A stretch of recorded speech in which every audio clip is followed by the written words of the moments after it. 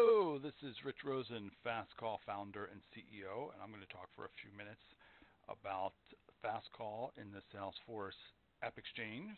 So it is uh, February 2023. Uh, Fast Call version 8.0 is in the AppExchange. You might be watching this uh, video a little bit later. I always like to start my demos uh, in the AppExchange, which is where you uh, came to this uh, video. Um, get it now. We'll install our application um, in a sandbox in production or a dev org, and that's a great place to really test out the application. We really recommend that our Salesforce admins uh, install in a sandbox. A couple of details that we like to point out in the application. Uh, we first released Fastcall in 2013, as we see here. Um, as I mentioned, we've named this release 8.0 at 7.96. Uh, the official name uh, is 8.0. The last update was this month, February, and we think that is really one of our uh, number one differentiators. We've been in the AppExchange a little bit over 10 years. We've released uh, over a thousand updates to our application. This application is uh, mature, market ready, robust, um, and still in very active development. And that's, we think, really important. Um, you also see that Salesforce, when you come down here, will show you custom objects. Uh, when you're comparing applications in Salesforce, custom objects is a really easy way to compare uh, one application against the other. So uh, I'll often say that 43 objects may not be terribly different than 42, but it is very different than 0 or 1. So if you're looking at an application and you see 0 objects or 1, it gives you an idea that really nothing is installed in Salesforce, or very little is installed in Salesforce.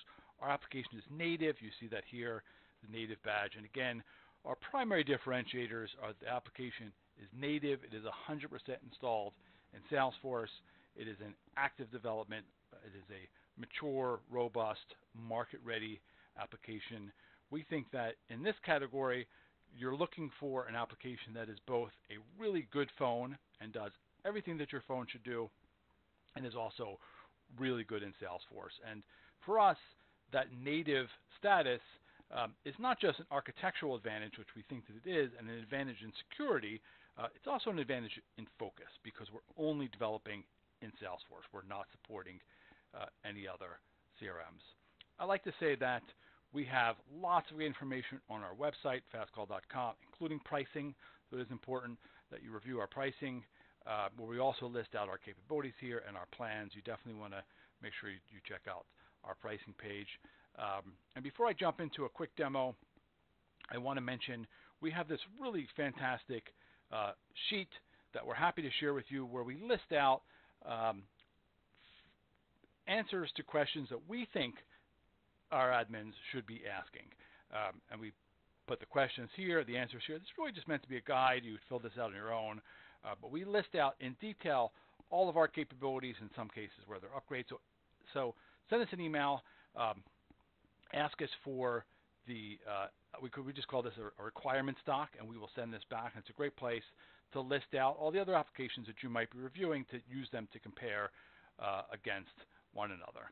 All right, so in Salesforce, we are uh, looking at what we what we say is our fast call control panel, which is really awesome. Our control panel is where we are um, looking at calls in real time. I'm able to see all my active calls, calls on hold, missed calls, um, and you know some of the things that we're able to do here, which really think differentiates Fastcall. Here's an example: missed calls. Um, we're able to create a workspace for our missed calls. When you reply to a missed call in Fastcall, we capture a reply call record. So you'll see a list of your. So here is an example of a call record, which is a custom object for calls. Um, on our call record, you'll see um, data that you might not, and in this case, uh, the call is recorded, and this um, and this was an inbound call. So this actually happens to be a voicemail because there's only one side of this call. If this was a recorded call, there'd be two sides to this call, but you'll see that on our call record, we're capturing uh, the phone numbers that were used, the date, time, and duration, of course. I mentioned the call is recorded, but you'll see things here like reply call. So in our application, calls are related not only to Salesforce records, to leads, to contacts, to opportunities, calls are also related to each other. So a missed call has a replied call. We're also capturing things such as planned calls, so that after a call is made, you can schedule a subsequent planned call, so a cadence. So call one, call two, call three, call four, call five. Um, and all that can be started uh, both in our control panel or on any Salesforce record. Uh, so our control panel is our workspace. It is where we are seeing calls in real time. So if I come in here, um, our application is designed in Lightning Design System. It looks like Salesforce. It feels like Salesforce. It's easy to use. I make a call. Call starts. You'll see here in the control panel, we're capturing call data in real time. If I wanted to listen to an active call, I can do that here.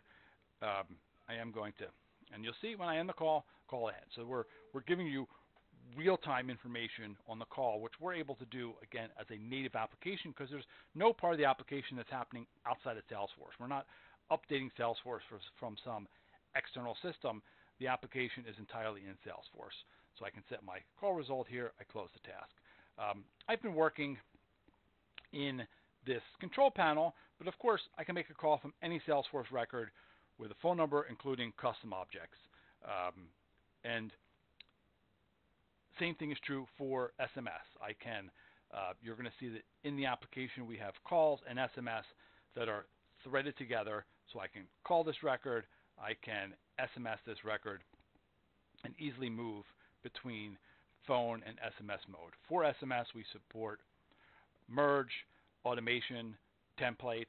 Uh, for calls, we support dial by list and voicemail drop, all the robust features that you expect from an application that is dedicated to Salesforce, that has been in the Salesforce AppExchange for 10 years. You expect it to be a very good phone, and you expect it to be very good in Salesforce. Uh, and that's what you're going to have with uh, FastCall. This is an optional Lightning component that you add to the page layout that gives you a complete threaded view again of the conversation. Here, the threaded view is related to the Salesforce record, and here the application for the user is related to the user. So the user is going to see, for example, a list of her recent calls and recent SMS here in the application, and then when I am on the record, I'm going to see a threaded conversation that's related to the record. This Lightning component is optional.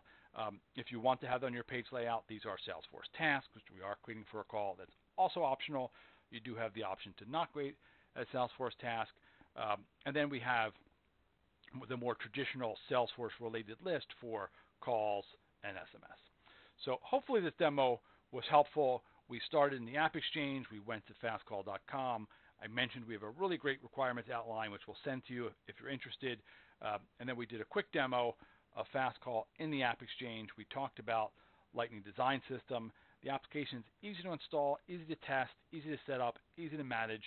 Generally speaking, most native applications are because they are dedicated to Salesforce. So please send us an email if you have any uh, questions, and we'll be happy to help you uh, get set up in your sandbox for a test.